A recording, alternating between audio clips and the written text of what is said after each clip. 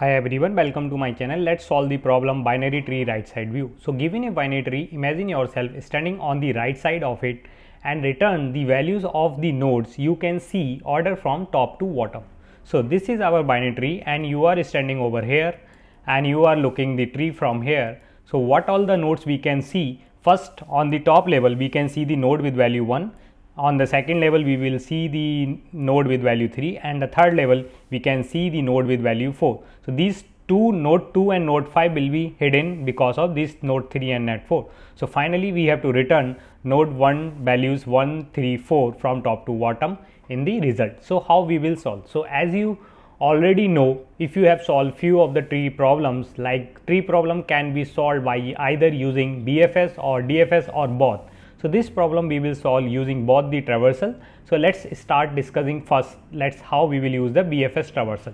So, for the BFS traversal I have already video where I covered like multiple problems of level order traversal like level order traversal and zigzag level order traversal and reverse level order traversal.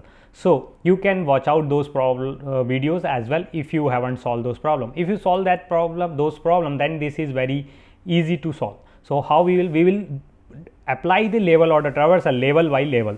So, for this starting what we will do we will use a queue data structure and if root is not null then we add the root node into the queue first.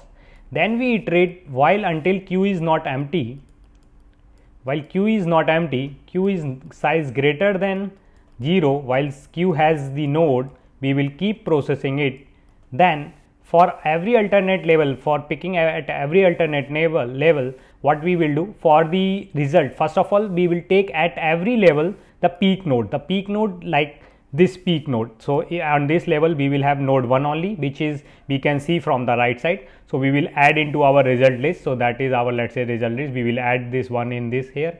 And then we process this level that many number of nodes. So first level will have only one node. So we will process one time then while we processing the node 1 we will look for the next level. So, for next level here the key instead of looking first left child we will look for the first right child. So, whatever the child right child we will look always first right if it exists we will add into the queue. So, 3 will added here once queue pulled out in this then 2 will be added here 2 is the right left child of our root node. Now, after that we will reach on the second level processing then first we will get the 3 from the queue. So, we will add 3 the peak element into the list result list. And then we look for the right child. Yeah right child of 3 is exists 4 then we look for the left child of 3 which is not exist. So is keep moving.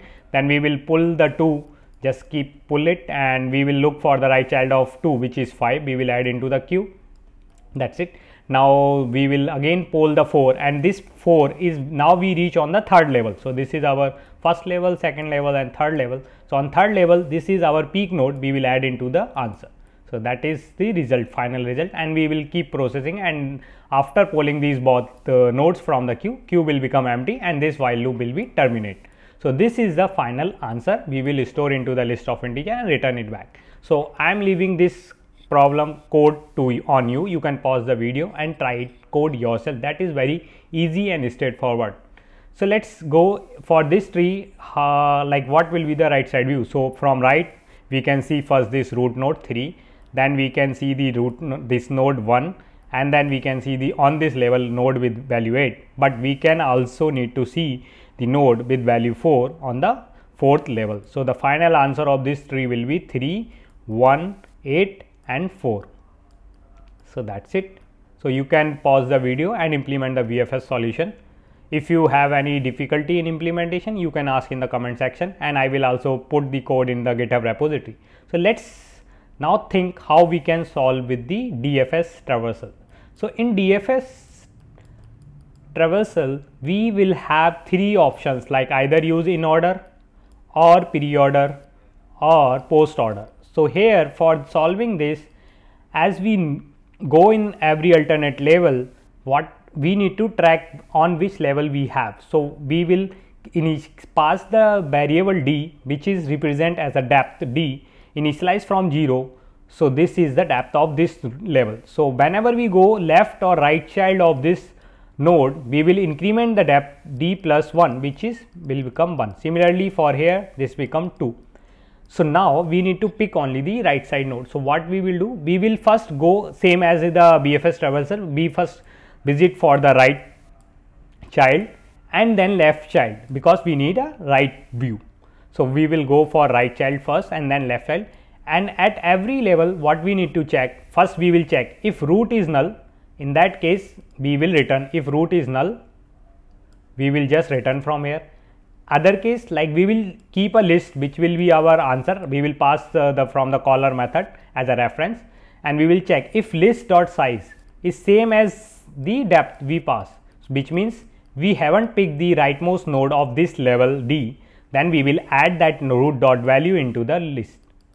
That's it. So initially first list will be empty then we will add 1 then we will call this right of 3 then 3 will come and the size of list will be 1 and d is also 1 so we will add 3 then we keep processing for 3 then we go again for right the size of this uh, uh, node like here the size of list 2 and the d is 2 for the node 4 we will add 4 then we come back to back there is no left here. Then we come back to this left we will see the size is greater than the 1 so we will not add we just keep processing. We will call for right and size of the list is over already here too so we will not edit it so let's take another example here. If i increment another node let's say uh, or instead of here just say this 5 has another left child let's say 6 so in that case what will happen? After processing all of these node we will reach to the node number 6 which is on the d3 equals to 3 and so far our list has only 3 elements. So size is equal then we will add 6 into the list as well. So, this will be the answer for the if we add another node here. So, this is how we will solve the def DFS traversal. So, you can pause the video first and try to code it yourself. So, let us implement the DFS traversal. So, for the DFS traversal what we will do? We first create a list reference which will be represent as a we will pass as a reference into the DFS method. So, let us say this is and call the DFS method by passing root and d like depth initial depth from start from 0 and the list reference of this list node. After that we just return list. Now let's write the definition. So private void method dfs that will get the tree node root and the int depth d and the list of integer which will be the reference. So here first we will check if root is null. If root is null then we just return. This is a base case for our DFS method. Second condition if list dot size is equals to d then we add the current node value which is root dot value into the list list dot add root dot value into the list then after that we will call dfs for root dot right first so that is a uh, same as the bfs we did and increment the depth by 1 and pass the reference as it is. So, let us call for left subtree as well. So, root dot left that is it. So, this is a DFS traversal implementation. Let us compile the code and see. So, it is working fine. Now, we can submit the code first. So, it got accepted. Let us understand what will be the time complexity of this code. So, as you can see for every node we are processing once. So, if there are n nodes so the time complexity o of n. And the space complexity what will be the space complexity? So as you can see uh, the if we don't consider this this will be separate out and the recursion call stack will be go in worst case o of h where h is a height of our binary tree. So in case of a skew tree this can also go o of n. So that's it. If you like this solution hit the like button and subscribe to my channel. Thanks for watching